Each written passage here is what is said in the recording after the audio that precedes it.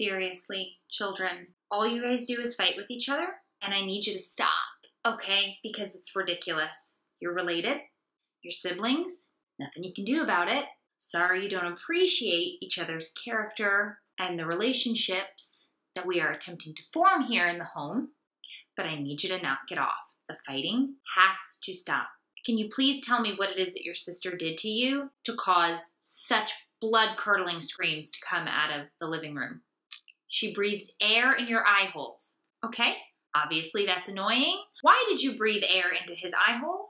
Oh, you were talking. Okay, obviously something you shouldn't have been doing. And why did you kick her? Oh, she touched you while you were on the couch. I see. I see. I totally understand why that would upset you if somebody sitting next to you accidentally touched you.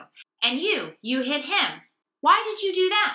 Oh, oh I see. He laughed during the show that you were watching because something funny happened. Right, I understand. I, all annoying things. So what do you guys think I should do? I mean, what what should we do in this situation considering we're all related and we uh, we live together? I should make the others move out.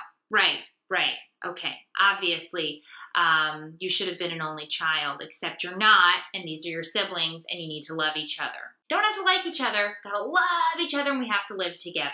You want me to sell your brother and sister? You can't sell children. That's not something you can do. What?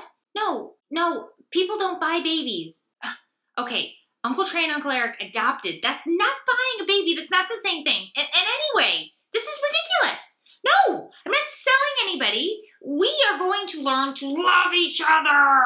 Right, I understand it's super annoying when he eats food and he's next to you. I get it.